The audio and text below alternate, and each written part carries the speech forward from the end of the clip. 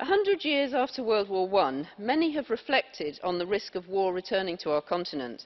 But in reality, the next war has already begun. It's a culture war, an information war. We're all conscripted into it, many of us without our knowing.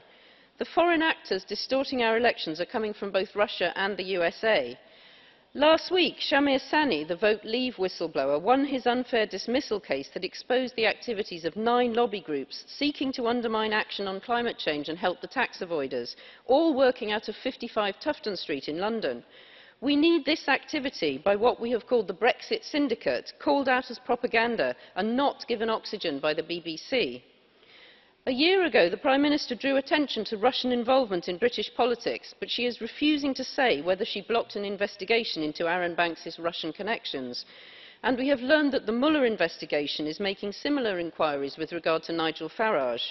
Welcome to the culture war. It's a war between, between democracy and authoritarianism. Which side are you on?